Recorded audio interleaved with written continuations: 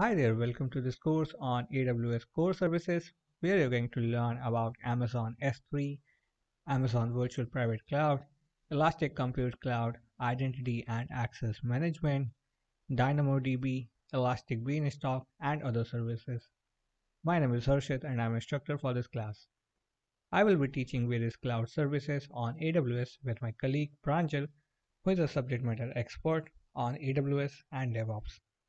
Here in this class, you will learn uh, widely used cloud services on AWS with hands-on examples that could be used for preparation in AWS certification exams. You could use these concepts to help you prepare, practice, and learn the concepts of various AWS core services. In this course, you will learn to create and customize Amazon S3 object storage services you will learn to create identity and access management or IAM roles in AWS that can be used to integrate with other AWS services. You will learn to create and manage various network components like subnets, internet gateways, and virtual private cloud using AWS VPC console. You could provision databases using AWS DynamoDB as a NoSQL database and perform various operations such as scan, query, filter, and much more.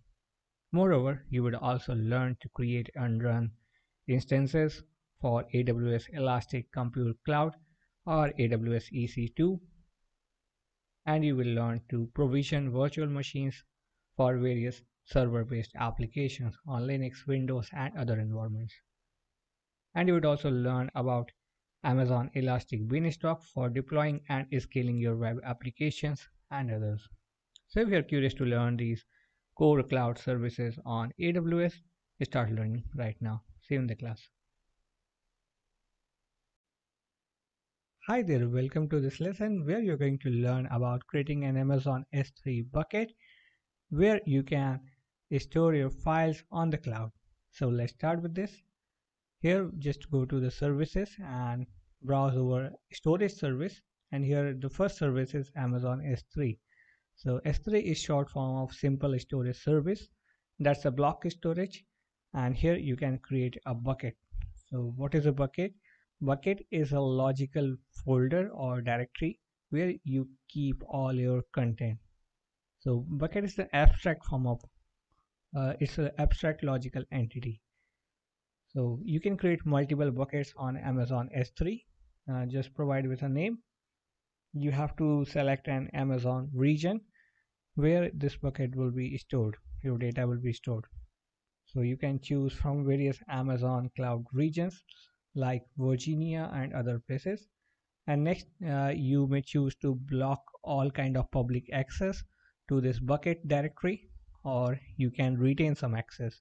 So if you want your bucket to be available on the public domains, it can be made available. Otherwise, you, you want to block, you can block it. And you can only access internally with your own cloud account. And then you can select the encryption or advanced setting. You can choose to have an object lock and once you're done, just hit create bucket and it will be available to you. And here we can find there are multiple buckets that's already created and here we have created this Athena data 101 and this is the bucket for here. And once you open the bucket you got various properties the file permissions to access this thing. You got various matrices. You can select this thing and you can any time edit some settings like public access. You can customize it later on. If you customize you have to confirm. Otherwise just leave it here. Maybe after you have created your bucket, you want it to be available by public domain. You can just set it there. You can have the cross origin resource sharing enabled. You can find the metrics here for performance indicators and other things. You can select the access points and here just go to the objects if you want to create other folders or subfolders and upload different files here. So if you want to store some files on the Amazon cloud, S3 is the way to go. Even when you want to create an integrated application that requires some sort of data, uh, it could be linked with S3. say if you want to host a website and you have a database you can upload your data set on s3 bucket you can add multiple files as well that would contain the images uh, dataset text other informations pdfs and other things and then you can use this amazon resource name or s3 arn and it could be connected to other services on the cloud like glue. You can create a crawler with amazon glue and athena. You can connect it to redshift or dynamodb databases and other places as well other services. It could be used with a lambda as a trigger and other things. Here we have uploaded this file that's csv format and we got this destination uh, link that is s3 and here we got uh, this directory for this thing. And here you got multiple kind of storage classes that you can choose. If you want to have access your data very frequently you can choose the standard or if you want your data for archival purpose you can have the glacier.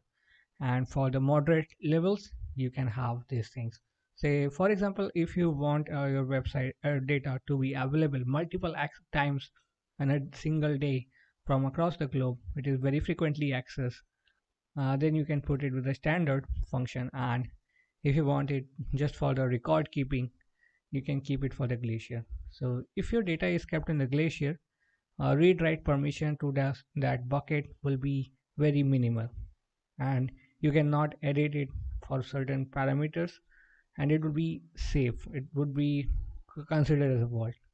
And you can create multiple s3 buckets so it is one of the core services on aws and it is very widely used with other cloud services so once you are on the aws dashboard you can customize your bucket and go to actions and find various options. So try to create your own S3 bucket, keep learning and keep moving ahead.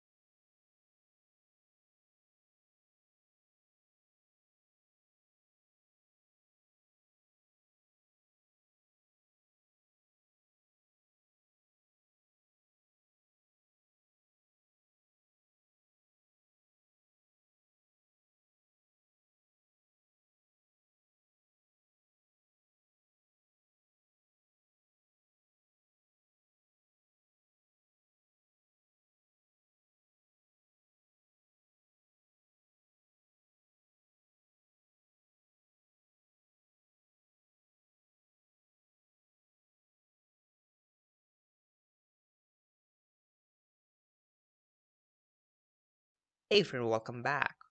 In this lesson, you are going to learn about AWS EC2, which means Elastic Cloud Compute.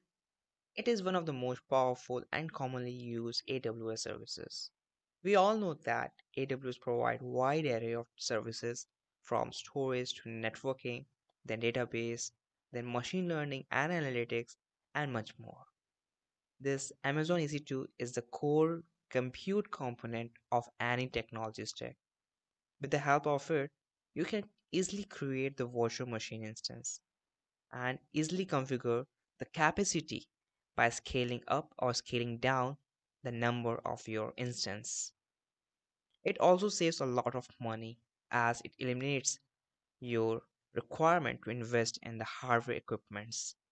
So it saves you money, it saves your time as well because you can create as many as virtual machines within few clicks. In this lesson, we're going to create EC2 instance. So let's do it. So this is AWS Management Console. From here, you can find this EC2 service. Just tap there.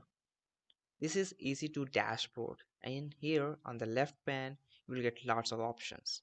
So here comes the first step in the process to create a new EC2 instance. So you need to select the AMI, which stands for Amazon Machine Image. It is basically a pre-configured template that package all of the things which are required for your server. Here you will get options like SUSE, Ubuntu, Microsoft Server, and various other AMI as well. You can even create your own AMI, which later on I'm going to show you that how you can create them. Here you can see that you will get some of the requirements while creating the AMI and also you can select the bit either you can select 64-bit or 32-bit. Here I'm going to use Ubuntu image okay. Now the second step is to select your instance type and here you need to select according to the four options given like CPU, memory, your storage and the networking thing. So here I'm going to use the t2.micro instance type where you will get one CPU, one GB memory and EBS tool. Okay, so basically you can find lots of instance type and if you're confused at which instance type you require simply you can check it out the official documentation given by Amazon regarding this instance type. I don't know that how many instance types are there, but the list looked too long and it may be more than 100. So here I'm going to choose this t2.micro which comes in the free tier. Then you need to select the step 3 to configure your instance detail and here I'm giving the number 1 and keeping all the settings like networking settings, shutdown, behaviors and various other things to the default one. You can even choose to create a new file system which here I'm not selecting it okay?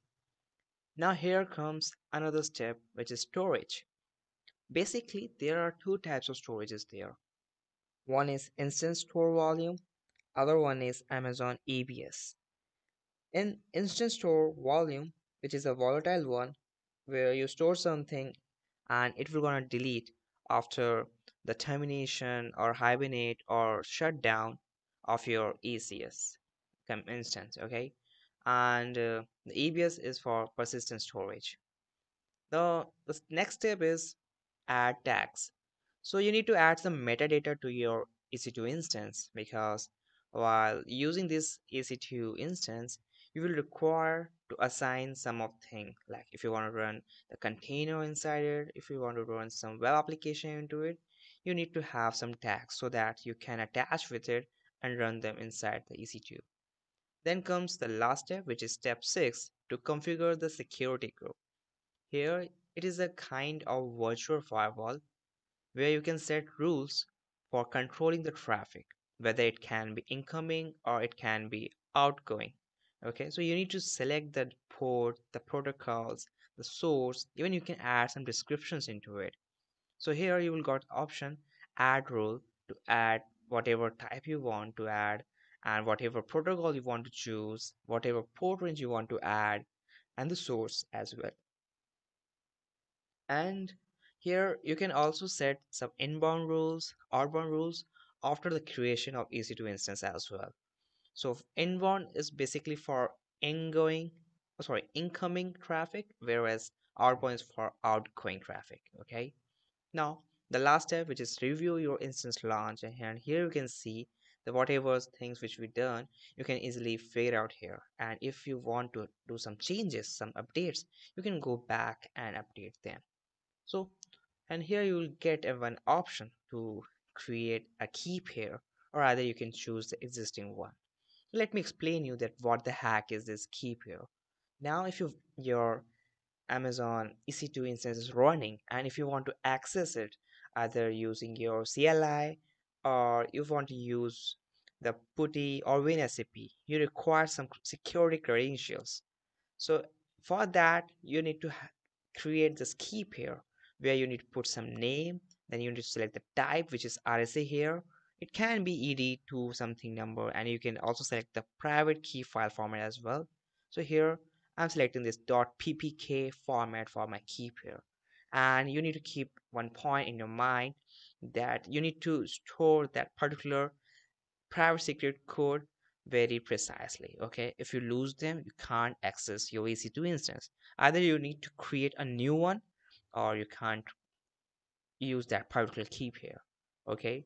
So here you can see it is still in the pending state and here you will get some public ip4 address some private ip4 address and various other things so while it is the process of the creation, here inside the EC2 instance, you can see that it is in a running state. I don't think so that it is completely run. Oh yeah, yeah, it now it is ready. Okay. So now I'm gonna connect to this EC2 instance. So there are some options. So I'm going to choose the first option to access my EC2 instance with the help of Amazon console. And as you can see, we are inside our EC2 instance. We got some name Ubuntu, which is our AMI, the user of this particular EC2 instance, and the IP as well. You can see here. So through it, you can easily access your EC2 instance. In the next part of the lesson, I'm going to show you that how you can connect with this with your PuTTY things, okay, PuTTY or SCP anything. So let me do some basic uh, commands like who am I, Ubuntu, and this is the current directory where I am, and so on. That's all. In next lesson, we will learn some more things about this EC2 instance. So till then, keep learning, keep exploring, and stay motivated. Alright, in my previous lesson I have shown you how you can create a simple EC2 instance and how to connect with it using EC2 Instance Connect. Now I'm going to use this SSH client to access this EC2 instance. For it, you must have PuTTY installed in your system. And this is a URL through which we are going to connect with it. And for other two options, you can check it out in official documentation given by AWS. And this is PuTTY. Okay, you need to put that particular URL. And under this SSH option, you will get some option like auth. Here you need to attach the key pair, which either you can create while creating your EC2 instance okay? Or you can create after the creation of EC2 instance as well. So once you have done all of things I'm gonna save this session okay? So that the next time whenever I'm going to use this PuTTY I don't need to configure all of this stuffs again and again. I just go to that particular saved in sessions and we will in. So so for the first time it will going to take time but it doesn't take too much time. We are inside our EC2 instance you can see that we got the username for our EC2 instance the private the sorry the public IP as well. Oh this is a public IP I think it is a private IP okay? 172 dot yeah yeah it is a private IP you can see here. So let me show you that we are actually connected with this EC2 instance or not. So here I'm going to show you that I have created one directory which is app here and you can see here that we have that particular app directory inside our WinSCP session and things like that. So with the help of this PuTTY, you, we can actually connect with this EC2 instance. So in my upcoming lesson, I'm going to show you how you can some applications inside the EC2 instance. So before jumping towards creating your web application and running them I'm going to do some update for this EC2 instance okay? So now I have updated all of the steps here okay? And if you want to add some more thing you can use this sudo apt get and whatever library or whatever things you want to install you can add into it. So that's all. This is the lesson where I've shown you that how you can connect your EC2 instance with the help of PuTTY okay? So if you want to access in the GUI way you can also use the WinSCP as well okay? And that's all. So for now keep learning keep exploring and stay motivated.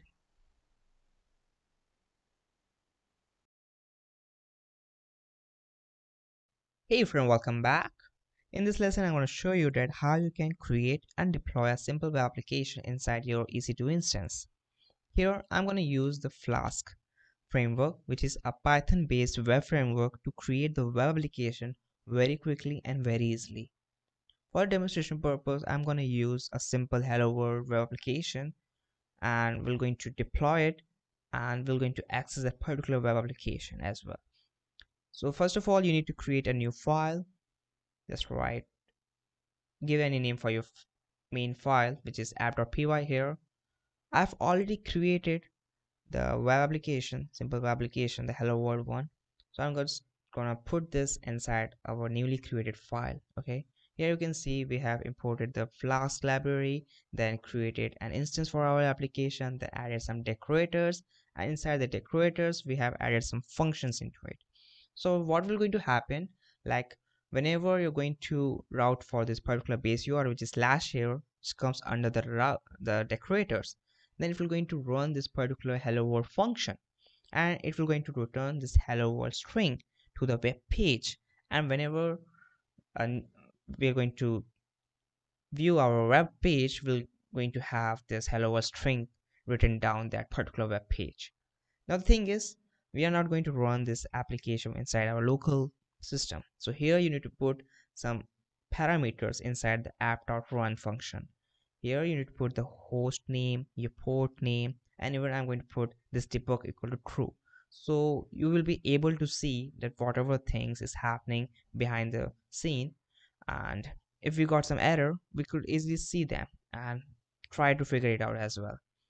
So i have updated the content of our application here. And the thing is we have to run this application. Now you can see that our application is now running. Now the thing is you need to access your web application. So you need to go the main page of your instance and here we got our public URL to access our web application. Now here you need to add your port number as well okay? So just put the colon and put 8080 and here you can see the hello world application which we have created. We are able to access it. So that's all. This is how you can create a simple python based web application deploy into your ec2 instance and access them as well.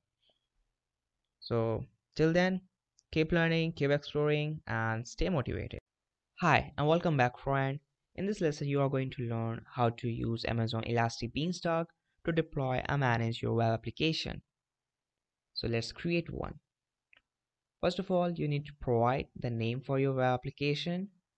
And if you want to add some metadata like tags, you can also add them. Now here you need to select the platform. It can be .NET, Docker, Go, Java, Node.js, Python, and so on. Here I'm choosing this Python platform here and I'm going to run this python on amazon linux 2 okay? And uh, here in this configuration section you will get some options like software through which you can edit the python versions. And then there is option for instances capacity load balancer rolling update and deployments. These are all settings related to the ec2 instance which we're going to create after you're going to initiate this elastic beanstalk environment. There is option for monitoring manage update notifications database and lots of other options are available here too. Now the best part is why I recommend to use Elastic Beanstalk rather than using the Elastic Cloud Compute because in if you're going to deploy any web application with the help of EC2 there you need to configure lots of things like you need to configure the EC2 instance then security group the S3 bucket CloudWatch CloudFormation domain name for your web app and lots of other options. Now with the help of this EC2 Beanstalk sorry Elastic Beanstalk this all job will be going to be done automatically. It will going to provision your web application going to add load balancing auto scaling things into your web application and as well as it will also monitor your application health and lots of other things will be going to manage by this aws elastic beanstalk so that's the cool thing about using this amazon elastic beanstalk it is just like a ec2 you know this Elastic Beanstalk is also, you can count it as a compute service, just like the EC2, okay? Now, the other thing which I need to mention here is like, uh, with the help of Elastic Beanstalk, here you don't need to manage all the infrastructure things. So the charges which will be going to be incurred will be according to the instance which are created through this Elastic Beanstalk. Like it will going to create instance for EC2 then it will going to detect the standard shards which are related to the EC2 okay and like S3 bucket and the route and lots of other instances which will be going to create it with this elastic beanstalk environment that all things will going to incur a charge a basic standard charge. Using this elastic beanstalk there is not any charge is direct there. It is basically dependent upon the all the services which are attached to this elastic beanstalk environment okay? Now that's how you can easily run your web application without handling the infrastructure things. So i think that that's enough for uh, to give a clear view of, of Uh, what is elastic beanstalk and how it saves our lot of time and that's a, a different advantage of this elastic beanstalk over ec2 now you can see on my screen like first of all it waited for this ec2 instance to be launched. Now once your ec2 instance launched so it created a security group. Security group is, is just like a virtual firewall where you control the traffic which like uh, any kind of traffic like incoming or outgoing traffic by setting some rules okay? Then you can see that it created a s3 bucket as well as for storing the environment data okay? Now it is still creating a environment and i don't know that how much time it's going to take but yeah but i think all of the things is now set up. It created a Procfile as well now the thing is i have used this aws console way to create the elastic beanstalk thing okay? Now if you want to use the elb command to run your web application you need to create the proc file by yourself. So that's the benefit of using this amazon console web console to create the elastic beanstalk services. Then you can see that it is showing that our web application health is like it's good and it is running the sample application which we have chosen at the time of initializing the elastic beanstalk environment. Then you can see there there is a platform is there as well which is python here. Now instead of using the sample application if you want to deploy your own web application then you need to compress your project file into zip format and you need to simply upload it from here okay and your application will be there with another url you can see.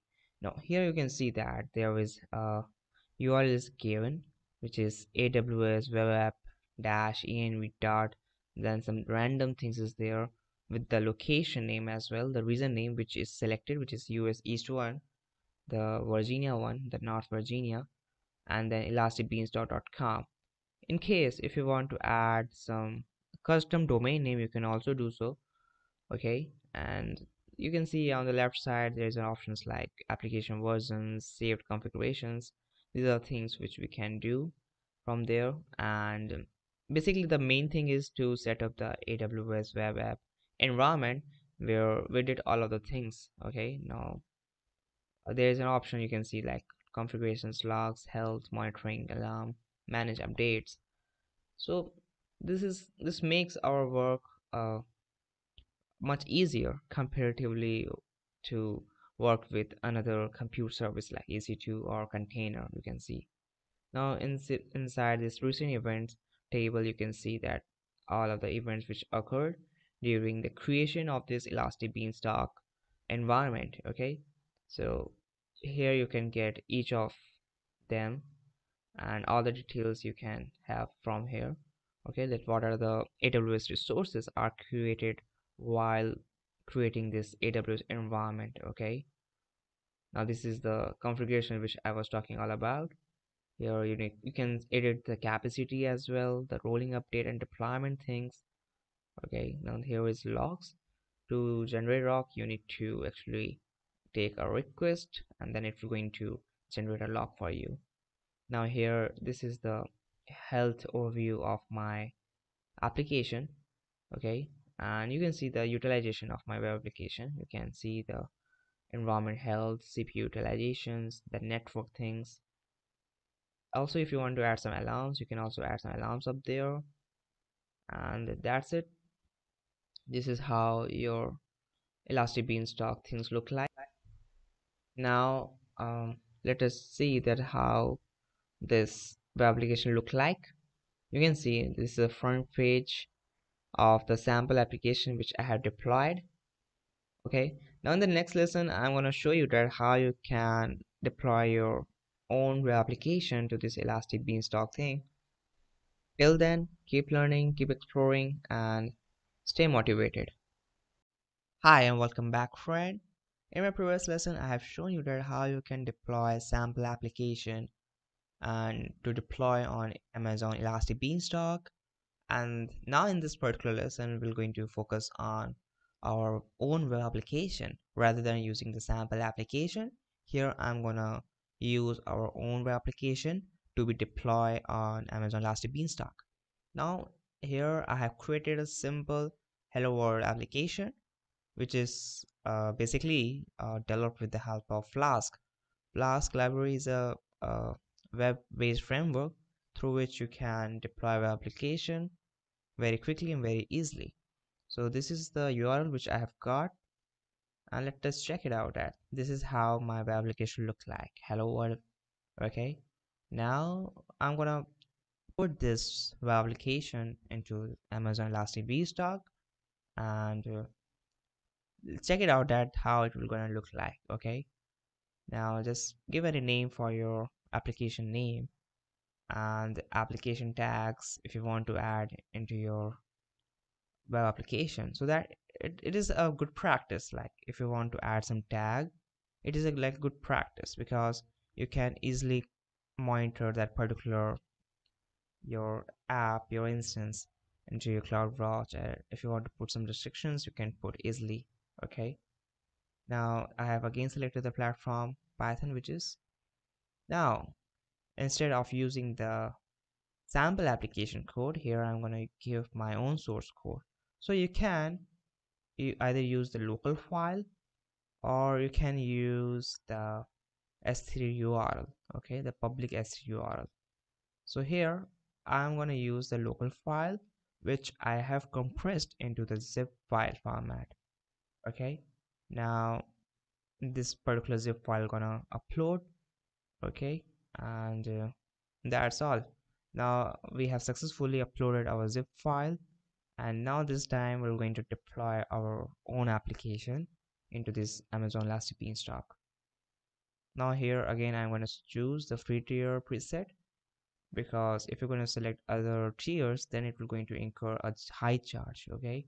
Because uh, many of the services will going to be run and it will be little bit difficult to manage them okay in case your application have any database you can also add that particular thing from here as well now as you can see the creation process has been started and it created the ec2 instance and launched that particular instance then set up the security group then load balancer group, auto scaling group, CloudWatch, and various other things. Now all the things have been set up and you can see that our application health is okay.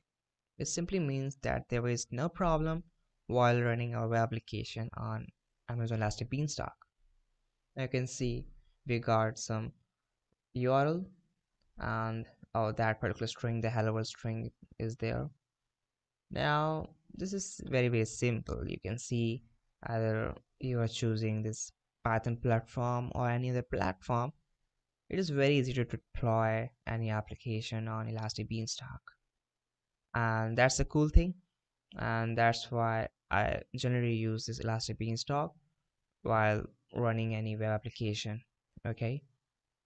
Now I've already told all the things which I think that may be considered as an important thing like you don't need to uh, manage all the infrastructure things while using this EC2 Beanstalk like you don't need to provision anything you don't need to put load balancing auto scaling monitor your application health. This all things will be automatically done by Amazon Elastic Beanstalk. And you just need to focus on like to write a code to write a awesome web application not like me which i have created the hello world simple web application. You can count it as a sample application as well because there is no functionality into it. So if you're going to put some functionality into it that's the point of having a web application on elastic beanstalk okay? Now this is cool okay? You can see the events from here the configuration settings from here. If you want to do some changes like your requirement is now high you can choose the capacity as well okay? And this is the health. So you can explore lots of options and i don't think so that it may take a time while learning this elastic beanstalk because the learning steep is very low here if you already have familiar with ec2 and other aws resources then it will be quite easy for you to deploy something into this uh, AWS Elastic Beanstalk. Okay, so that's all. So till then, keep learning, keep exploring, and stay motivated. Hey friend, welcome to this lesson. where We're going to learn about various kinds of networking services on Amazon Web Services. So let's start with this.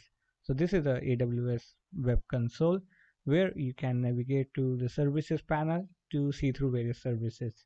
So here in this lesson, we are going to explore various kinds of VPC services on the VPC dashboard, Virtual Private Cloud.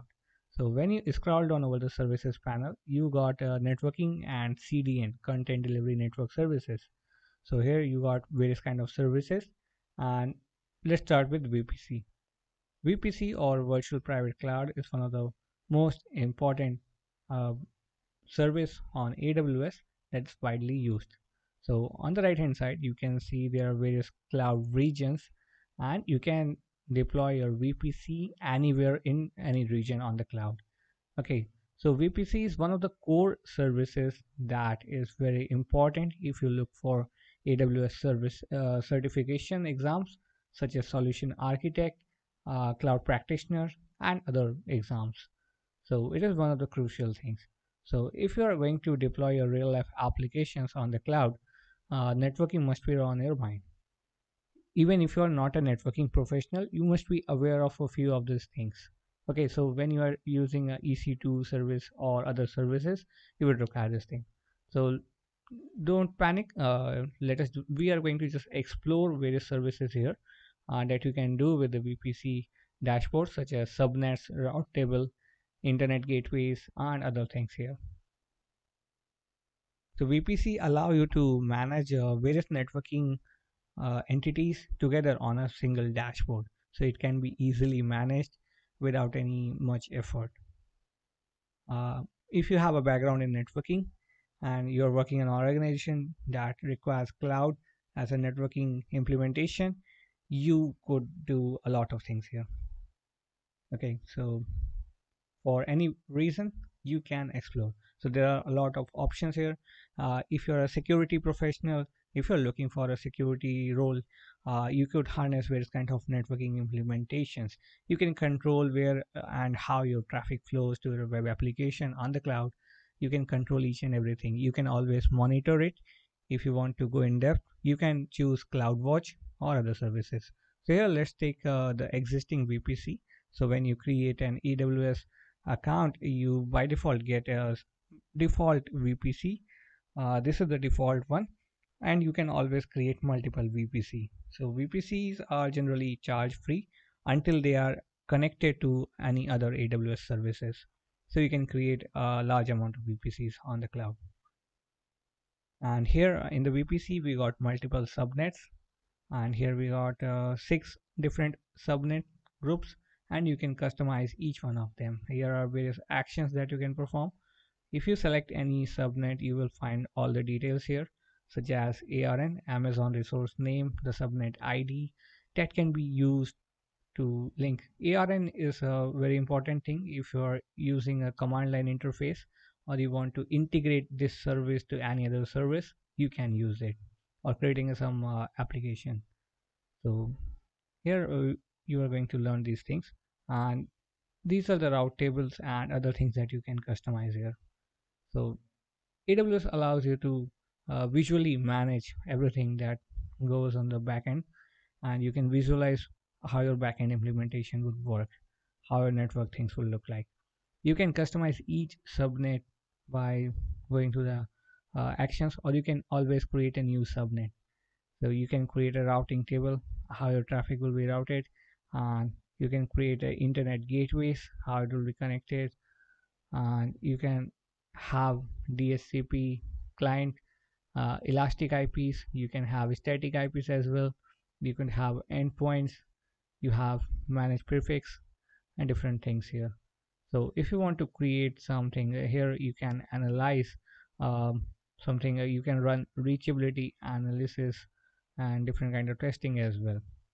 So uh, if you already know a lot of networking concept uh, you would you just need to uh, go through various services find various options and you will be easy to implement these things. And otherwise just stay focused on what you want to do. Don't uh, if you are not sure about what uh, settings you should do uh, just go with the default in here.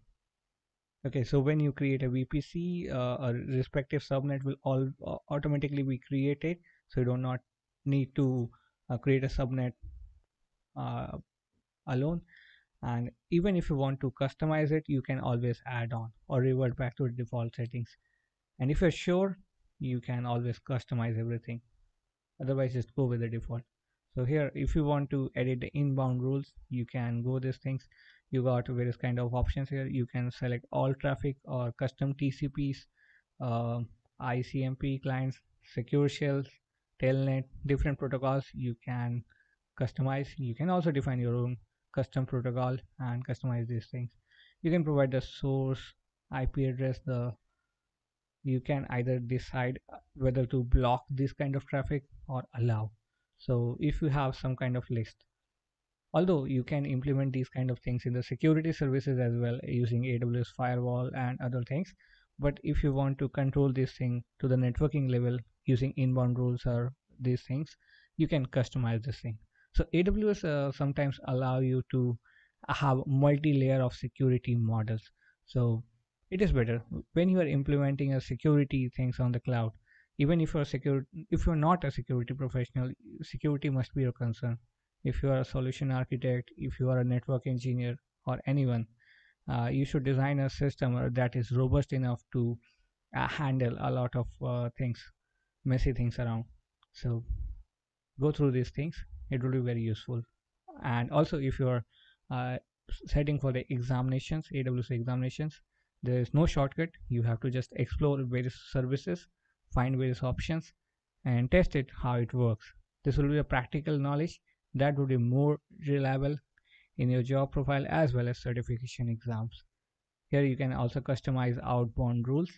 You can set it to default and otherwise just move on so once you create a vpn you based on the region you can customize this thing in the coming lessons you will be learning about uh, how to create a vpn subnets route tables internet gateways how to connect with the ec2 and other things so this is how You can also connect with a network firewall and other things. So just explore VPC dashboard and other networking services. Dive deep into various concepts and it can be used for security as well as other professions. Keep learning and keep moving ahead. Hi, welcome back friends. Here in this lesson, you're going to learn about creating a virtual private cloud or VPC on AWS. So let's start with this. As you can see here, we have logged into the AWS console and launched a VPC service. So once you log into it, you will find this dashboard. On the left hand side, you got various options where you can create your own VPC, subnet, route table, and much more.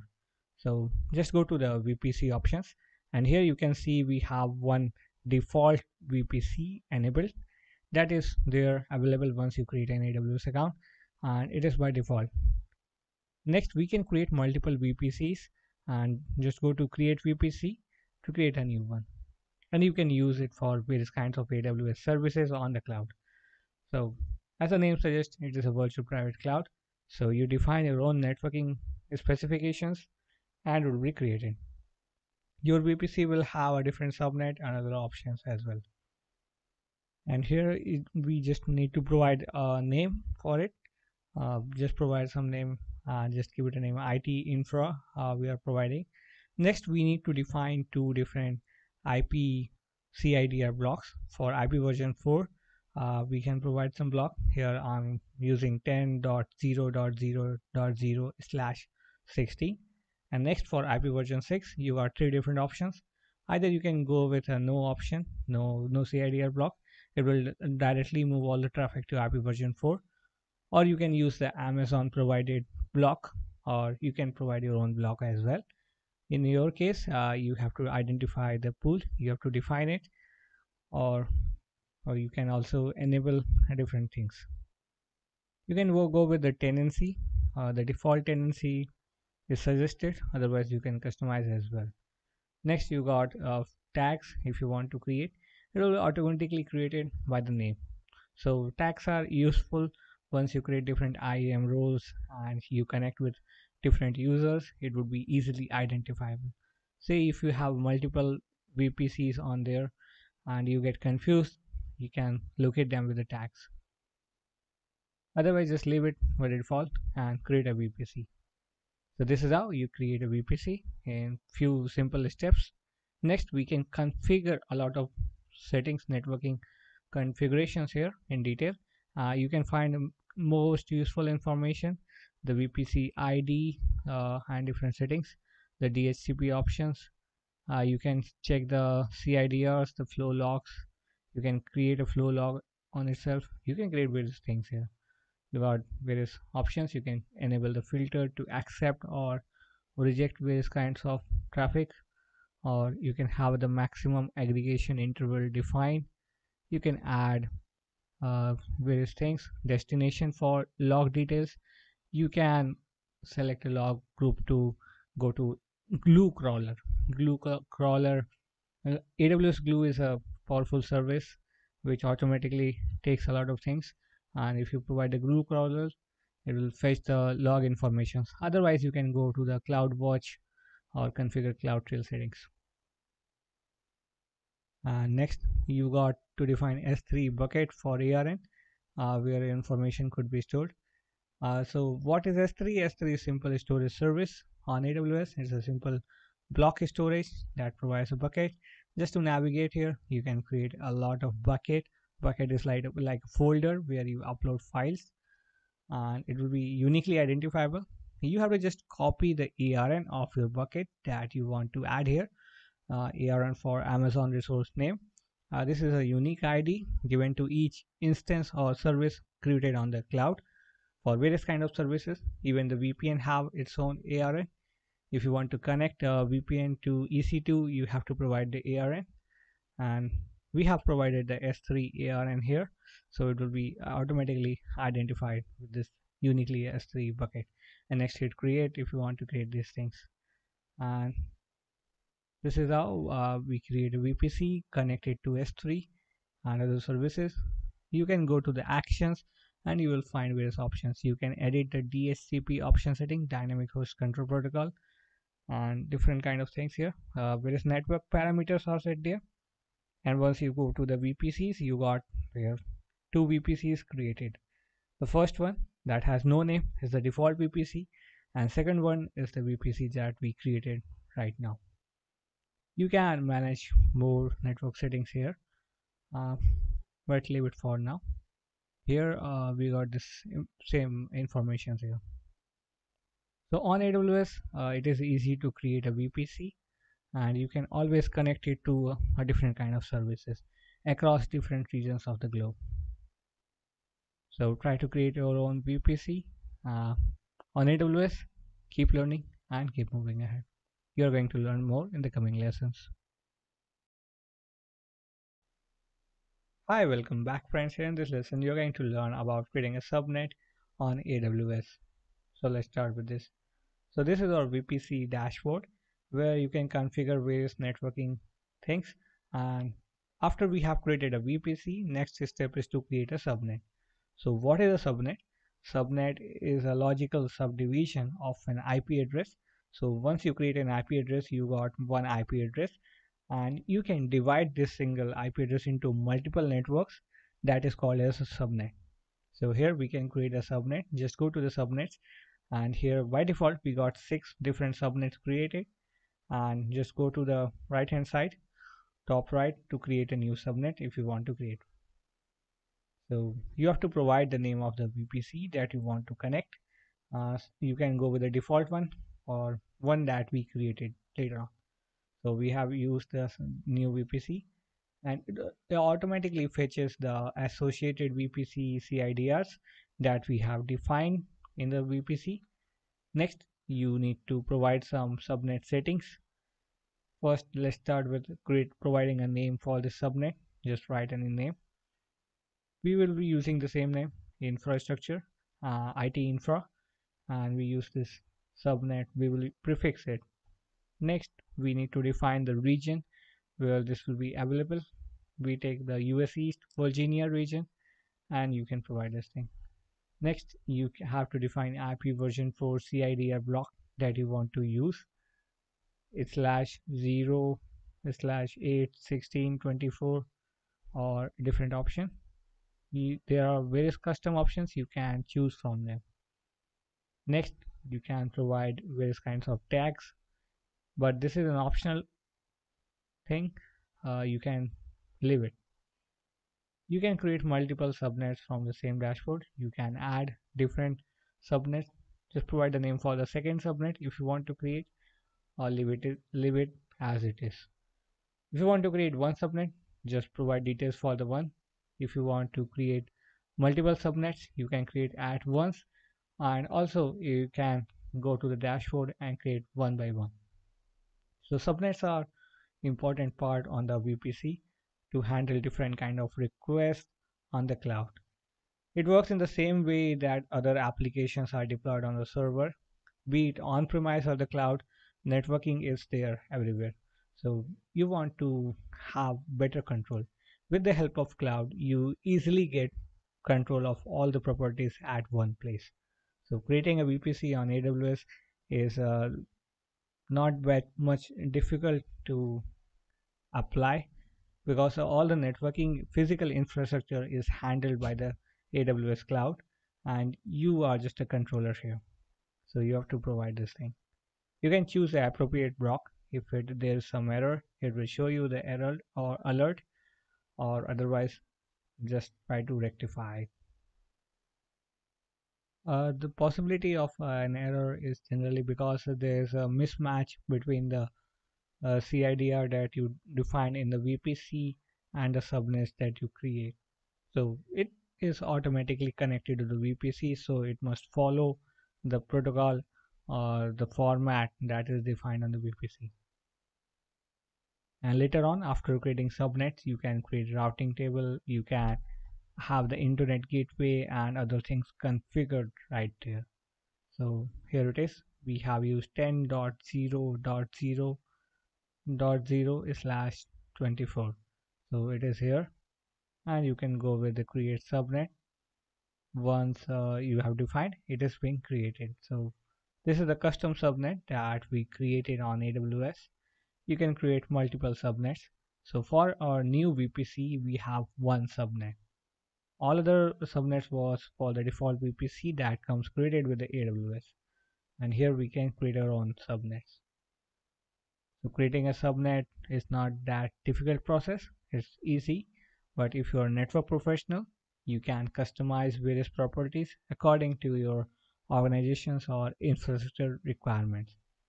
So here on the downside side, you got various options for route table, network access control list, CIDRs, and different options. You got the subnet ARN that you can connect with various kinds of cloud instances whenever you require it to connect. Just the way we connected the S3 bucket uh, in the creating a VPC session and here you can use this thing. You can go to the subnet option on the virtual private cloud dashboard to identify various subnets and you can go into details of each subnet and customize it later on. Try to create various subnets and VPC on AWS keep learning and keep moving ahead Hi, welcome back friends. Here in this lesson, you are going to learn about creating and attaching the internet gateway to your virtual private cloud on AWS. So let's start with this. So we have created a VPC and created various subnets for it. And next step is to attach an internet gateway so that you can allow you to access it, access your VPC across the internet. So let's do it. So just go to the internet gateway option right below the route tables and here we have one default internet gateway that has been set to the default uh, VPC that's been created with the AWS account. So we can either customize it or create a new internet gateway from scratch. You can create multiple internet gateways and attach them to different VPCs. Here you are going to learn these things. So just click on creating an internet gateway. And this is an option to create a gateway. So first you need to provide the name of this new gateway. Uh, just provide any name. Here let's name it vpc underscore it infrastructure. Uh, you could provide any custom name as you like. Just keep the name of your internet gateway subnet and vpc little bit common so that if you have multiple of such uh, network components you may get confused which subnet or internet gateway is related to uh, what VPC or so on. So I'm using the same notation here.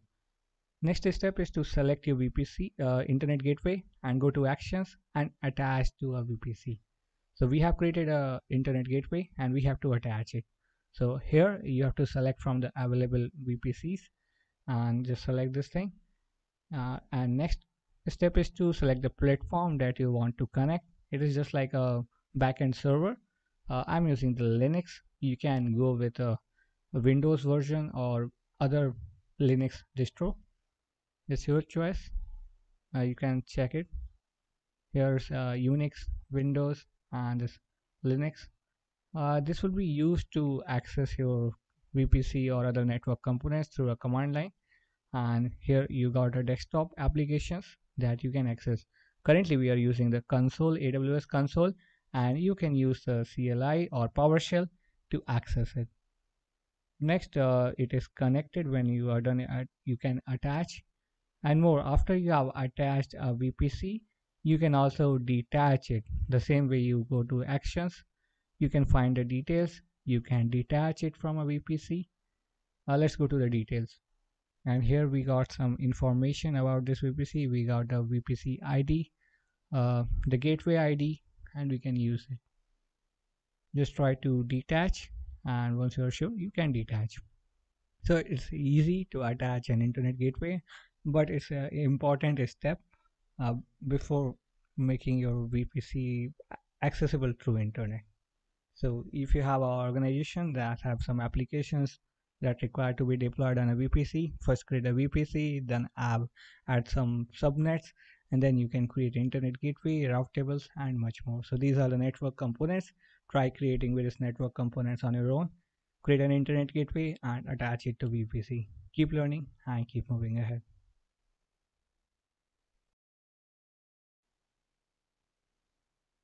Hey, welcome back friends here. In this lesson, you're going to learn about creating a table in Amazon DynamoDB NoSQL database. So let's start with this. So ju just go to AWS console and here just navigate to the database services on Amazon. And here we got multiple kind of database services.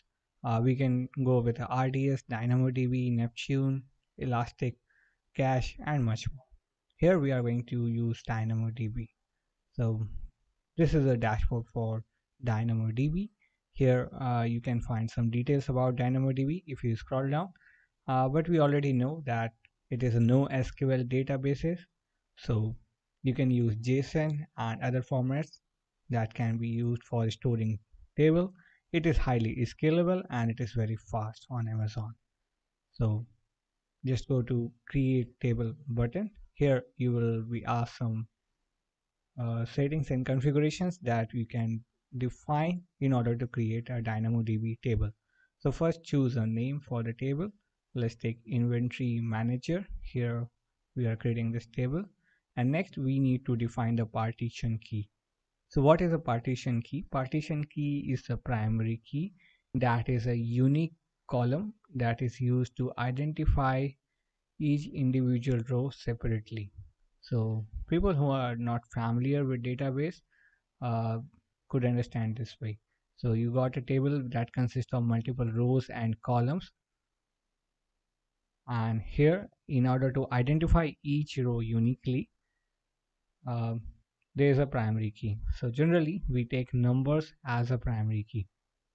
Then you can also have a sort key based on which your field can be sorted or otherwise you can leave it.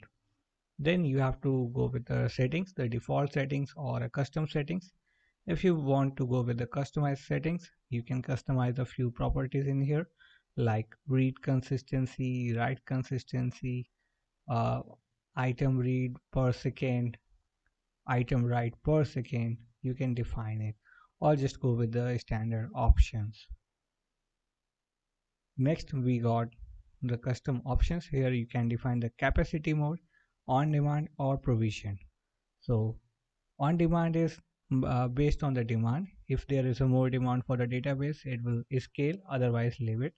Or if you go with the provision you have a predefined set or range of the size of the database that has been provisioned. Say if you take 10 GB provisioned or the maximum capacity per unit you have to define it. You can define the target utilization percentage beforehand for the read and write capacity on the database. So if you don't go with the provision you can choose the demand. So in on demand if you have a low uh, demand you can be fine but sometimes there could be a spike in the demand for read or write capacity. In that case your cost will go but your uh, database will function very normally on the AWS. If you go with the provision and your demand for read or write operations exceed the provision value, your database may not function properly. So based on the scenario that you're working, you can choose with either of those. Then you can uh, select the encryption. You can go for the default Amazon DynamoDB encryption or so on. You can read more about the DynamoDB pricing options here for the on-demand as well as provision values. So it differ based on your requirements.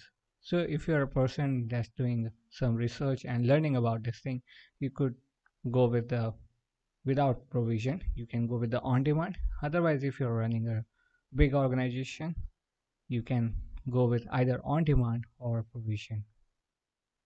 It depends once you are done just go back with all the settings and hit create table. So once your table is created it will reflect to the DynamoDB dashboard. Here we got one table that's status is showing being created and once it has been created it will be available. You can go to the settings or overview of this newly created table in DynamoDB and here we got multiple options. Uh, you got indices you got monitor you got global tables and various options that you can set. You can find the various matrices here. You can also connect it with the CloudWatch in order to get more metrics in detail. Otherwise, this is a snapshot. So you can view these uh, matrices in detail on CloudWatch console. Otherwise, just leave it here. So this is the CloudWatch console and you can find it in depth. So once you have created table, you may start adding some values for the database or you can upload your database on S3 and redirect it to this. After your database is available on DynamoDB, you can start querying them or connect with your applications, be it mobile, web, IoT, or anything else. If you want to create more tables using DynamoDB, you have to follow the similar step. You could create a range of tables on this thing. On the left hand side, you got various options for managing this DynamoDB console. Uh, you got QL editor, items, uh, export to S3 and other options. Keep learning and keep moving ahead. Hey, welcome back friends. Here in this lesson, you're going to learn about adding a new item to your DynamoDB table using form and JSON. So let's start with this. So this is the DynamoDB dashboard and we have created a table called inventory manager. Uh, you can create multiple tables and add items. So there are various ways to add different rows or columns content to your table. Uh, this is the best way when you have few records. If you have multiple records, you can always link another database, import from other tables, or you can use S3 bucket. So here, just go to items in the DynamoDB dashboard, and here you got two options, scan and query. So query is used for running SQL queries and scan uh, here we can scan the table uh, next go to create an item this will allow you to create a row so here we have we can define column as there is no column defined so in the first row we have to define the columns as well. So the attribute name is the name of column or attribute. Uh, let's have serial number that is the primary key. Then we have the product and we can define it the type data type. So here we define it as string type. So within the values you provide some value that is considered as a cell value. Say here attribute name is the name of column or field value is the corresponding row value and then we have data type. So you can keep on adding new attributes. So first time when you're creating a table first column and first row uh, you need to define a lot of things. And after that you can just copy it and replicate it very quickly. So I will teach you how you can do this thing. So on the right hand side top right you see two options here form and JSON. So right now we are using the form. So form is simple data entry option where you can just write anything defined using a GUI editor. Uh, it does not require any coding background so you can easily add. And when you use JSON uh, it will show the script and you can just replicate it very easily so here let us define the first column. Here we have the product name the category the quantity that is a number and is available as a boolean true and false values. So you can have multiple data types. Uh, as you can see here once you create the first column is available. So our table has a one record with multiple columns. And now let's create one more item.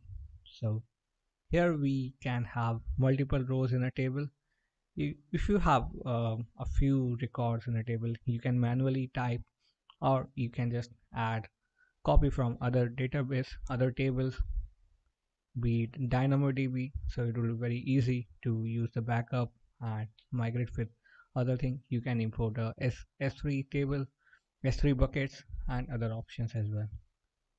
Best way is to use JSON so if you have some records say for example if you have 50 records and that is already created in JSON file stored somewhere on your computer or other place on the internet you can just copy that JSON script just paste it here it will create attributes very easily and DynamoDB is a NoSQL database. So it is a JSON based database.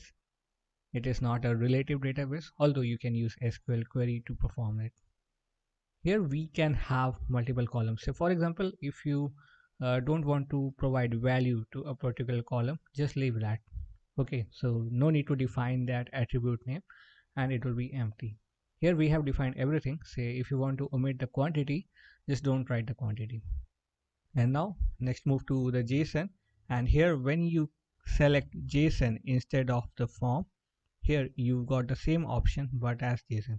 So first just uh, select uh, some existing row and here go to JSON just copy all the code here the JSON code. And after that we will going to create a new item or new row.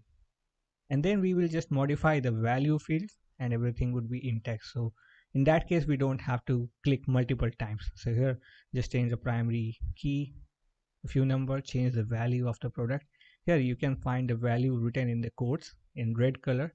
So it is very easily to add it. So you got the five different attributes. You have to just change the values if you want.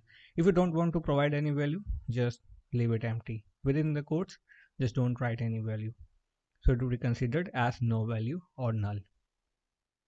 Or also you can also write null in capital as well so here we got this thing and once you're done just hit create item as we do with the form so this is how you create different kinds of rows in a table using form and JSON in DynamoDB. So it is very easy to create items. Next, after you have some items, some row and columns on the table, you can perform different query operations by writing SQL queries. So here, let's create some more columns. You can provide the values, just change the value for product. You can have multiple products like inkpad. You can don't forget to change the serial key because uh, serial key must be unique although you can have different kinds of product quantity other columns uh, that can have duplicate values say for example we have the stationary information and we can have multiple products as inkpad but no serial key can be common if you try to create this thing it will show some error it won't allow you to create because you have already defined it as a primary key so once you have defined anything as a primary key it must be unique in order to perform SQL operations very easily. So here we have created four different rows and different columns in a table and next we are going to learn about SQL query. So try to create your own table in DynamoDB, add different attributes, columns and values. Keep learning and keep moving ahead. Hi, welcome back friends. Here in this lesson, you're going to learn about running and writing SQL queries in DynamoDB. So let's start with this. So you can write SQL queries using PartiQL editor on DynamoDB. So let's start with this. Just select the PartiQL editor on the dashboard. And here, uh, when you expand view in the table uh, by clicking on the triple dots, you would find various options. You can add a query to editor. Let us run this first query. And here it shows uh, some items. Uh, so four tables records has matched. So what was our query? It select everything from the table. So here we got inventory manager table and we select everything. So select asterisk. If you want to show some columns some specific columns you can define in place of asterisk for those who don't know sql this is a few tip I know most of you must already be familiar with SQL. You know, already know how to write SQL queries. So it will be easy for you. Just uh, learn about how you can use it and use this dashboard. So here we can either view this information, the fetch record in table view, it will show you as a row, or you can use the JSON view. So if you got the JSON view, you can copy the JSON and use in various applications that can be connected. You can always connect ARN on the cloud. That is a different thing. So JSON could be used in various scenarios. It could be used as a formation of another table. You can use this output to create a different table as well. And there could be multiple domains. It could be linked to a web mobile or different kind of applications here you can also customize this query. You can also save this query. And here let us customize it by writing some where clause. Here we apply the where quantity is greater than 10 you can also apply different conditions. You can also insert some rows. In that case you can run the insert command. You can use the update. You can delete a table. You can drop a table you could do everything and anything that can be done using SQL with a database or a table. You can run multiple queries simultaneously as well. So here when we executed this query it produced a, single output. Just expand this icon. Here you can find these things. So sometimes uh, in the DynamoDB we understand this thing that uh, they wrote different queries by default for you. So in that case it could be handy you don't need to write everything from scratch so you can use this thing say like if you want to uh, scan the table you can just click on here. It will write the code for a scanning table. You can set an item by updating the table. You can select the table name. You can query the table perform various queries on the table using where clause and other clauses as well. You can drop an item from the table as well. So here uh, we use the update table it updates the inventory manager and by setting some attribute to a different value. So you can change the value of a particular attribute by writing this command and this query where a certain condition is matched. Say let us write some attribute. You can define it. Say category is equals to uh, different thing. You can select the category is sanitizer and you can define the where uh, the condition you can define serial number equals to 102 or a different thing and you can hit the run to execute this thing they produced no output. Query performed successfully, but there was no output. So that means no record is fetched. You can try again if you think that it doesn't work. You can try to change certain variables. Maybe there could be some spelling mistake. Try to troubleshoot these things. If your query is performed successfully, but there could be some syntax error, you could just go through it to solve this thing. Here you can also write a query for deleting this table where uh, or deleting certain rows from the table. Sometimes there are say thousand of rows or records on the table and you just want to delete four or five of them. You can base and define it using the where clause. You can use a lot of things. You can also perform various join operations you can customize the table you could write procedures or perform advanced SQL queries as well. So DynamoDB is a powerful database on the cloud and you can use do almost anything. If you don't want to use the PartiQL editor for writing SQL queries, you can also use AWS CLI command line interface and you can perform by writing various queries in the command line. So if you are quite familiar with Oracle database or some databases where you used to write queries on the command line editor, you can get it very useful for you. So here we wrote different queries. You can create more tables, you could add different records and start with this query. Once you are done with this thing, if you want to download the output of the table it can be saved as a CSV format or Excel format and you can use in various spreadsheet editors. So it is very interactive. So once you're building some application on DynamoDB first go through the DynamoDB interface itself perform various operations create table perform SQL queries and then try to integrate it with different other applications. Uh, you can also get the output of the table and use the spreadsheet information generate json for that and then you can use it by creating a different table as well. So try to perform various operations on dynamodb table. Start writing queries on PartiQL editor keep learning and keep moving ahead Hi, welcome back friends. Here in this lesson, you're going to learn about scan and query option in DynamoDB and you will also learn to filter a table based on certain conditions and parameters. So let's start with this. So when you go to the DynamoDB dashboard and here you got uh, the table and the items. You already learned how to create an item, row, column, attributes in a table and you already know how to create tables. So after we are done with a few basic things set up in the table, we can perform a scan and query operations. So with the query, you need to execute SQL uh, queries and filter option is available in both these things. So just expand this filter option and here you can define the attribute, type, condition and a value. You can leave the fields that you don't want and you can always add multiple filters simultaneously.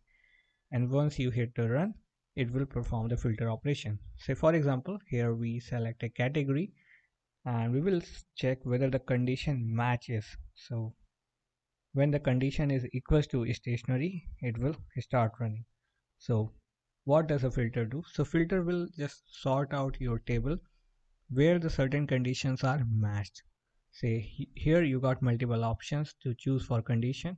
You can have a greater than, the equals to, not equals to, less than or equals to these could be uh, in the values uh, numerical values as well as a string you can use the between operation to select a range of values say between 100 and 2000 you can have these things then you can have exist so it will check whether this value exists or not then you can check the contains whether this thing contains it can be applied to string as well as numerical values it does not contains or begins with. So begins with will have a regular expression. It will check whether the string begins with. Say for example, if you have to sort name of the people based on whether they begin with letter A. So you can select whether they begin with letter A. It will show the name of people in the table that begins with E And you can have different kinds of filters as well. So here we can select the boolean value. If it is equals to true it will show you the thing. And when you're going to run a query you need to provide the partition key as well the serial number. You can define the primary key otherwise leave it. So you can always uh, filter table based on certain conditions or the partition key primary key but most of the time we don't know the primary key but we are familiar with the values so it's better to use filters so if you have a big table, giant table, say consisting of uh, 10,000 or 1 million rows, so it is better to apply filter before running a query. Just for the sake of convenience for people who don't know how the things work here, uh, when you are running a database on an experimental basis for learning purpose, you can have uh, things like uh, 1000 columns, 2000 columns at most, and your query would be performed very quickly, very easily. But when you have millions of records and you're building a, a server side web application for a big corporate company, then cost is the real thing. So once you apply execute a query, it will check each and every row. So you don't want to run the query 10 million times on 10 million row values. So it will have a large cost. So in order to optimize the cost, you can use the filters. So filters will scan only a particular columns that matches a given condition. So in that case you can use keep learning and keep moving ahead. Hi, welcome back friends. Here in this lesson you're going to learn about deleting a table in DynamoDB and how you can restore a table again from a backup. So let's start with this. So we are currently on the DynamoDB dashboard and on the left hand side we got various options so if you want to delete a table, create a table, you have to go to the table option. And if you want to customize the subnet groups, clusters, parameter groups, you can go into there. So if you want to delete a subnet group, you can select a subnet group and delete them from the actions. And if you want to create a subnet group or parameter group, you can create right from there. So they are different from tables so if you want to configure subnet and parameter groups, you can go to the DAX settings, the clusters, and if you want to customize the table, uh, SQL queries, you can go to the table section. So we can configure these things. So just go to the table options on the DynamoDB dashboard. And here, uh, when we try to delete a table, we will get certain options. Just go to the actions and just next to it, there's a delete option. On the first line, it was written that delete all CloudWatch alarms if you want to delete it. And if you want to create a backup before deleting, you can select the second option. So if you select the second option, it will create a backup before the table is actually deleted. So it is a safety parameter. You should check it if your data, eh, database or table is important. Otherwise, you can leave it. If you're just doing for experimental or learning purpose, you can create a table, delete a table, and so on. But if you're dealing with the real life scenarios and big corporates and startups anywhere else, if you're working on some serious project, it is better to have a backup before committing to delete a database. And how you can restore it from a backup in case you accidentally deleted your database, just go to the backup option and here you can provide the name of restore table and select various options. You can choose to select uh, restore the entire table or you can restore the table without secondary indexes.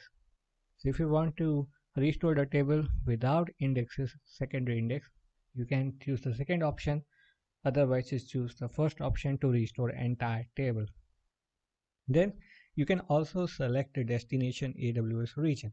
So if you want to restore the table in the same region that data table existed previously before deleting, you can restore there. Otherwise, you can also change the region. So for example, if you created a table uh, in the North Virginia region and if you want to now create uh, restore it in the London or Frankfurt region you can do so by choosing the second option and once it is done it will be available in your table option. So as the status is showing restoring it will be restored in some time. And if shows are done or active your database is live. So this is how you create a backup before deleting an actual table. And you already know how to restore a table if you accidentally perform delete operation.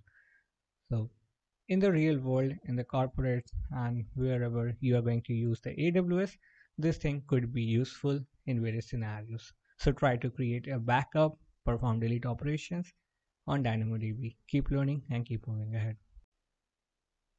Hi there, welcome to this lesson where you're going to learn about creating a RDS or relational database on Amazon Web Services. So let's start with this. So currently we have logged into AWS Management Console and there you can go to any service and create an instance for AWS services. Here we got a lot of services and just go to the database and select RDS.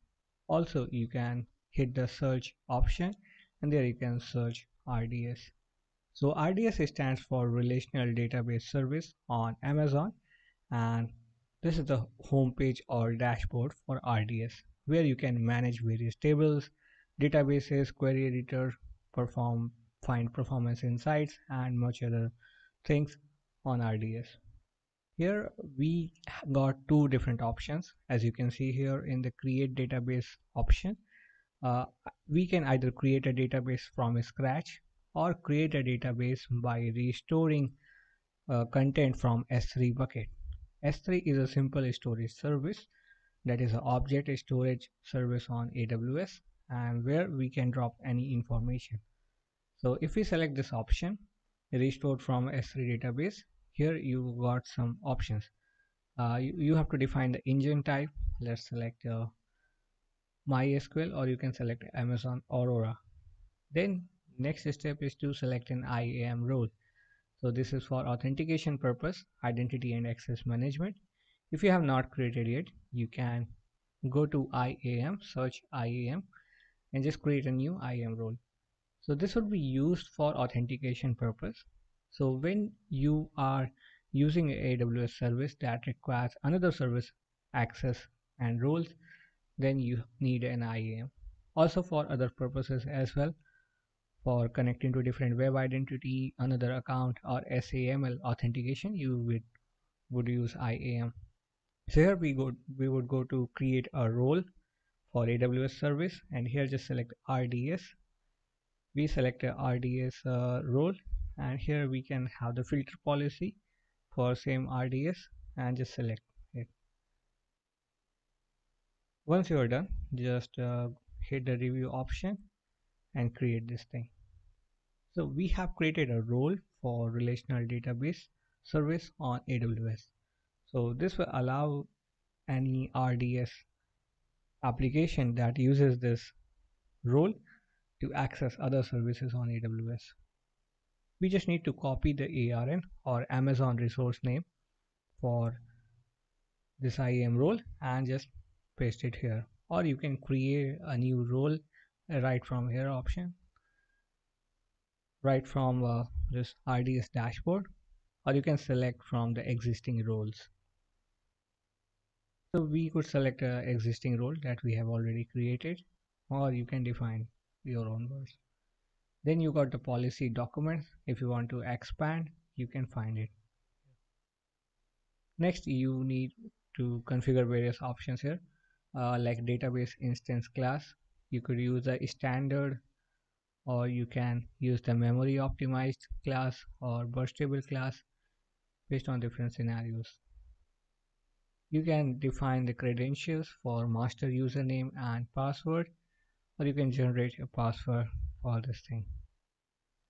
You can choose a storage type such as SSD, uh, storage auto scaling. You can enable auto scaling. Uh, auto scaling is uh, a feature that allows you to scale the size of your database based on the request and the demand. So it could scale and you can also select availability and durability on multi Amazon regions. You could select the connectivity for virtual private cloud VPC. We have already created a VPC earlier so we can attach it. Or by default you get uh, a default VPC on AWS. You can use that one also. Then you can define the VPC security groups, subnet. You can create a subnet mask. You can create VPC security groups you can select the availability zone for this VPC or you can be global as well. Then you would need to provide additional configuration. If you want to choose a database port that would be used for accessing this database, you can define it or set it to default. So here we provide a database port for, for this thing. Then you can choose the database authentication it could be password authentication or password and IAM com combination of both or you can choose it. Then you got various other options as well like parameters encryption settings performance insights. You can select the backup retention period. If you want your backup to be automated you can enable it. Automated backup so it will take the backup of a fresh content of the snapshot of the database over a predefined set of period say on a weekly basis or monthly basis uh, fortnight or anywhere else. Then you can generate the log reports. You can find it there and you can also calculate the cost incurred here. So this was for uh, amazon mysql engine. You can choose to have amazon aurora db as well in order to create a RDS database on the cloud. So creating an RDS database look hectic, but if you are confused, just keep settings in the default if you're not sure about, or you can just learn by creating a few databases and how it functions based on that. Otherwise, if you are an advanced user, you can fine tune every settings and configurations as per your requirement. Keep learning and keep moving ahead. Hey, welcome back friends. Here in this lesson, you're going to learn about creating a relational database or Amazon RDS database using Aurora engine and other engine types. So let's start with this. So we are currently on the Amazon RDS dashboard and here we can create multiple databases based on different engines. So in the previous lesson, you learned how to create an RDS database, what are the various options that you get and here we are going to explore other engine types as well so hit to create a database and here you got various options here you got six different engine types Amazon Aurora, MySQL, MariaDB, PostgreSQL, Oracle, uh, and Microsoft SQL Server. So you can select each one of them to know the properties, what are various configurations that you get with each of them. Say uh, if we create uh, using the Amazon Aurora DB, it would be mostly free and here you can have a lot of advantage. So when you are doing it for educational purpose or for the research, uh, for creating a database, performing queries and other things, you could go with uh, the default Amazon Aurora. Otherwise, if you want some specifications like Oracle or Microsoft SQL Server, you can just select those engine types.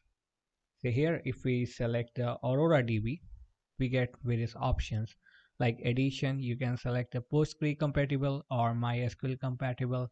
You get the capacity type either if you want to have a provision or you can choose the serverless. So if you choose a provisioned one you can get the size of the database predefined and the operations for read and write are defined beforehand you can manage manage various instance types and much more.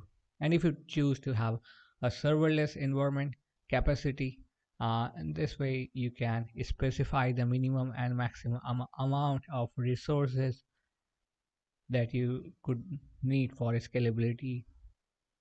Then you can define the engine version. You can go to the show details. We got, uh, got various options. By default it is set to aurora postgresql if you select the uh, postgre compatible if you choose mysql compatible so it will get the default version. You can change the version type based on your requirement. Next, you can choose the template type either for development and testing purpose or for the production environment. So if you are working on a production environment, live data that is just for to production, you can choose this thing or if you if it is currently for development and testing just for research and it is not currently deployed on real world applications you can choose to have a dev test environment. Then you need to define a master username and password for accessing your database resources. So you can have this thing and you can note it down anywhere if you want to access it furthermore. Then you get uh, the database instance class. You can choose a burstable class or memory optimized classes like R types and much more. If you're not sure, just choose the default one. Then you can choose the availability and durability. You can have a multiple amazon zone uh, deployment options. You can choose to create a aurora db or if you want to have a replica you can choose to have a replica. Then you need to provide the connectivity for your resource uh, it is vpc uh, you can connect a virtual private cloud that is already created if you want, you can create uh, and provision the subnets and other things as well. By default, with an AWS account, you get a default VPC. So if you are not sure about configuring VPC, just go with the default one. And if you want to configure various network properties like internet gateways and other things, you can go to the VPC dashboard to fine tune those things. Next, you need to provide the database port number through which you can access your resources. And you need to choose authentication method for accessing this database resources. You can choose to have a password or a combination of AWS IAM, Identity and Access Management, and password. So in that case, it will first authenticate whether you have got the permission and the rules uh, to access a resource, and then it will check the password. So it is better if you want to have a more security advantage, you can choose to have a both option. It is just like a two-factor authentication that you use with the general email or social media accounts that you have. Then you got uh, other options as well. You can configure these things. Uh, so once you're creating a cloud database, the more emphasis is to configure things very precisely uh, the way you want because uh, your uh, your focus is not on the deployment section it will be focused uh, on afterwards. Uh, once you have a database running on the cloud, then you can focus on writing queries, performing operations. But beforehand, you need to provision it.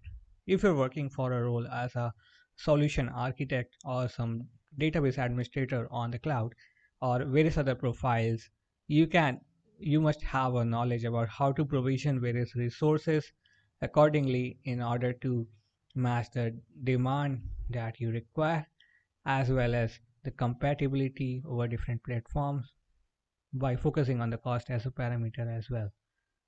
So you can also go to the advanced configurations if you require anything. You can decide the additional configurations, the backup, encryption, performance insights, monitoring, and other things that you get here. Once you're done, just hit to create database and your database will be created.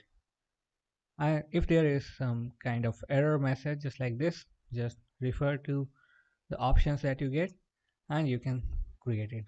So uh, this was this error uh, may appear simply because we don't have a VPC and if we the VPC that we provided was not associated with any availability zone so thus it shows some error. And when we switch to another VPC that was fetched to uh, availability zone it allowed us to create a database. And here it is being created.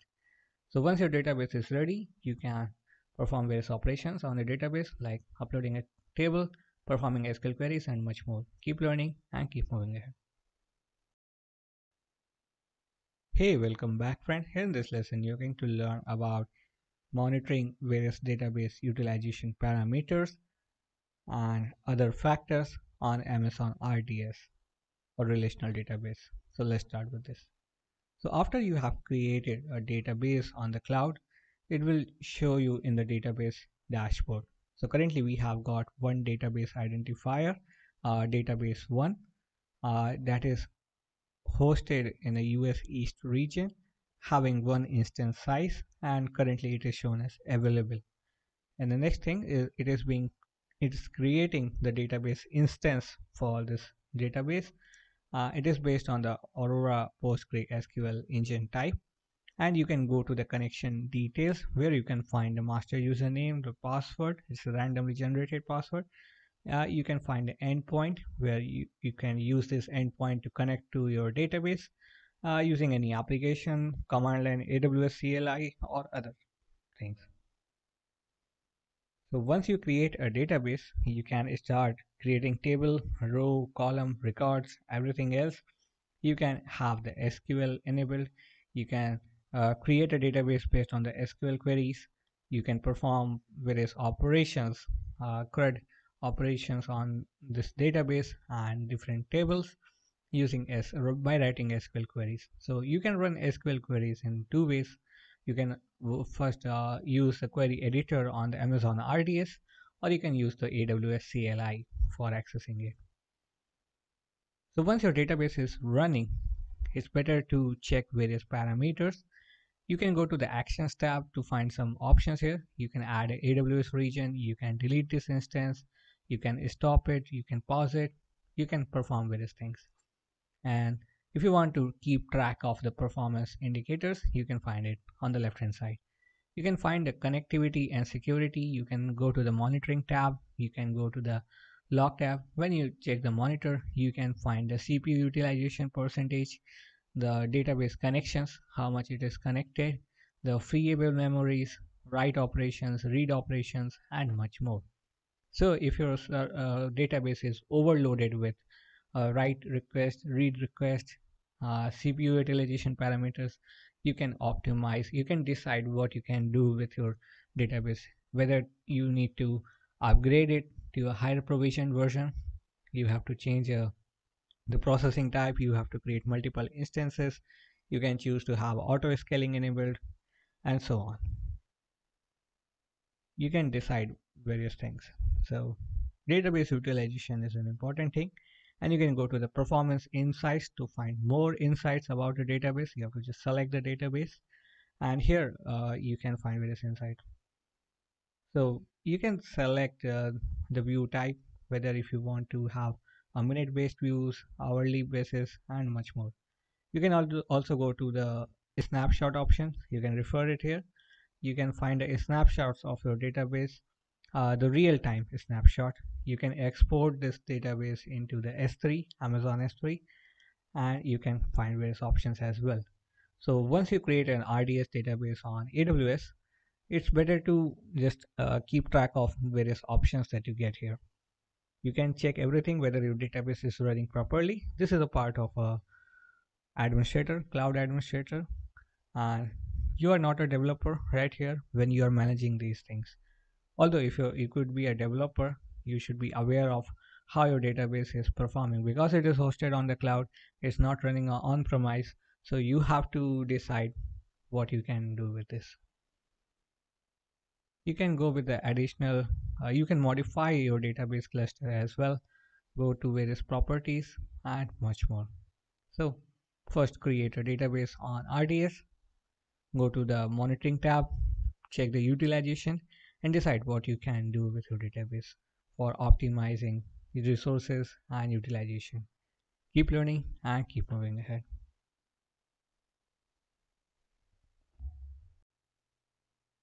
Hi, welcome back friends. Here in this lesson, you're going to learn about database actions, query editor, and other options on Amazon RDS Relational Database Services. So let's start with this. So just go to the dashboard and select the databases on RDS. Here you got various options as actions. So just select the action tab and you got various options. You can stop a database, you can start a database activity stream and other things.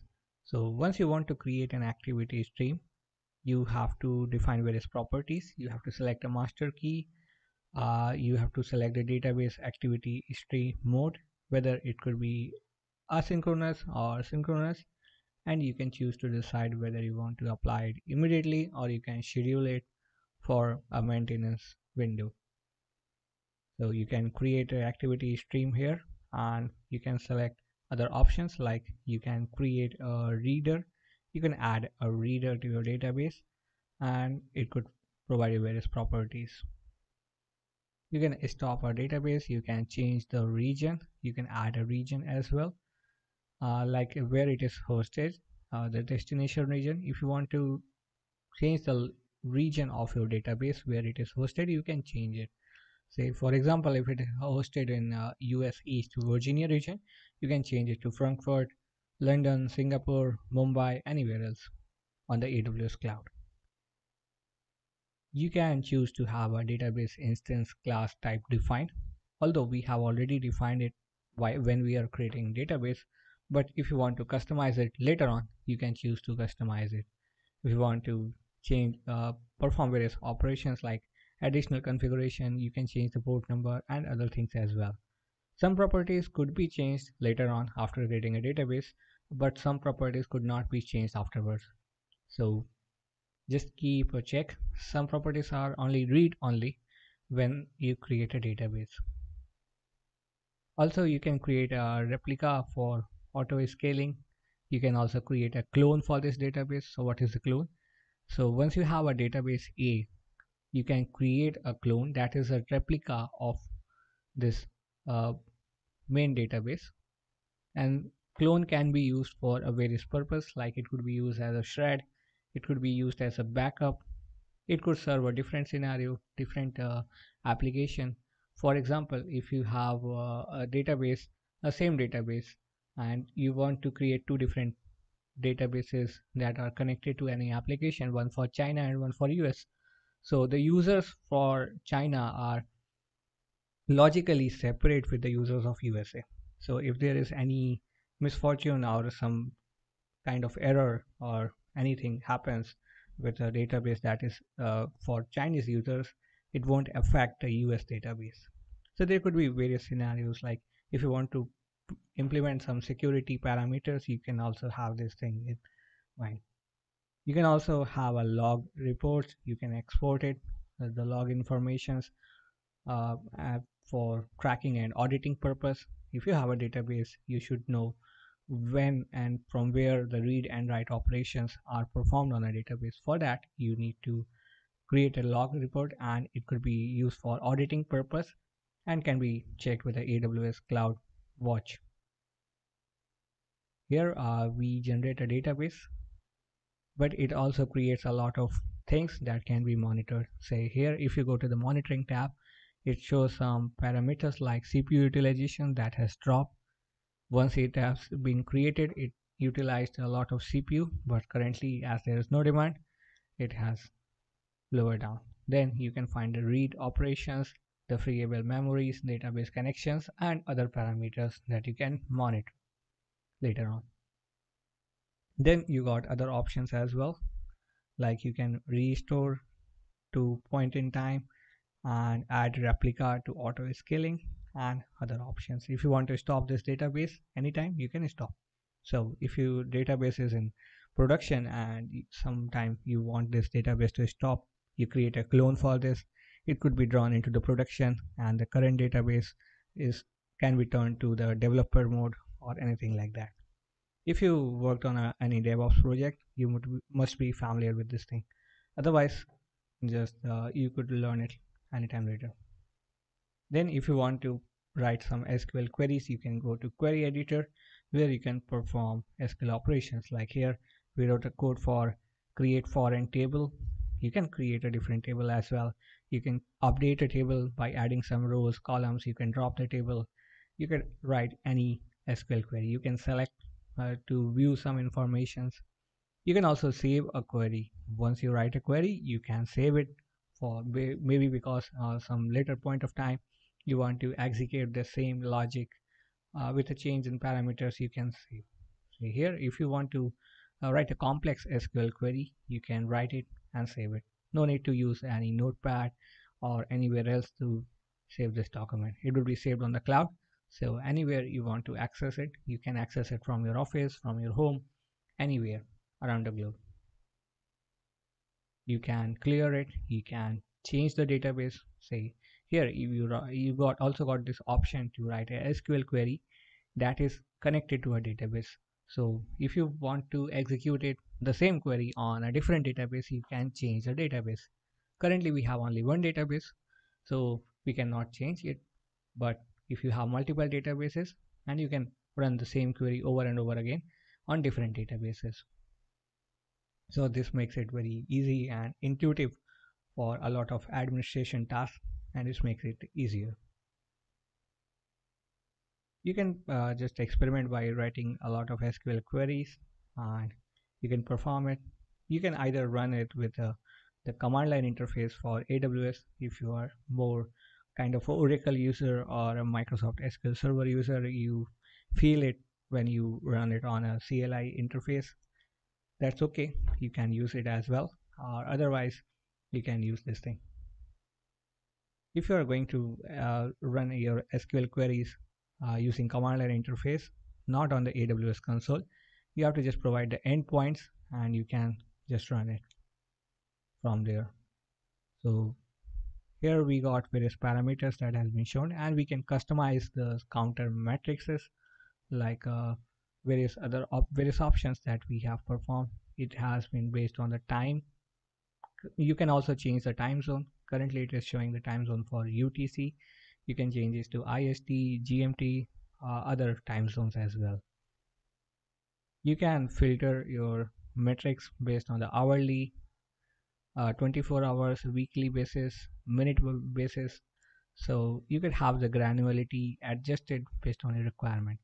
So if you want to have a real-time scenario you can fine tune to it. Lower levels for granularity or abstract level. Keep learning and keep moving ahead